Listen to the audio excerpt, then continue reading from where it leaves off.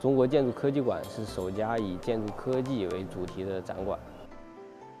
中国有很多非常知名的古建，代表性的案例来讲这个中国古代建筑的一个高超的一个技术成就。金楚建筑的第一次系统的把我们金楚建筑的一个特点啊，从古至今啊，做了一个系统性的梳理。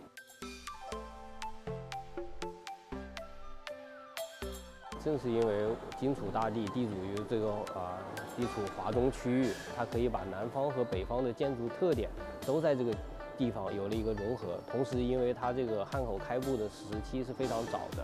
啊，有很多的这个西方的建筑文化啊，在那个时期一点的引入，它将这个中东方的建筑特点和西方建筑特点在这里有杂糅，并且形成了自己独特的一个建筑文化。